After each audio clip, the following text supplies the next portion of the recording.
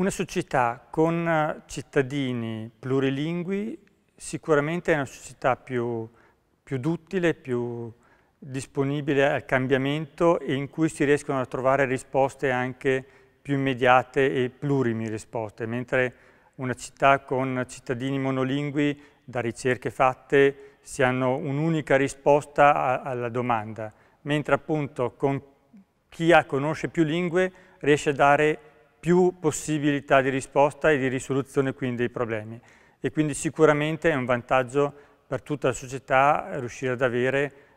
cittadini che, che parlano più lingue. Parlando più lingue, sì, ovviamente per i nostri territori il tedesco e, e, e l'italiano, ma dando per scontato che tutti sappiano l'inglese che oramai è una lingua franca e che comunque nel prossimo futuro non sarà neanche più un,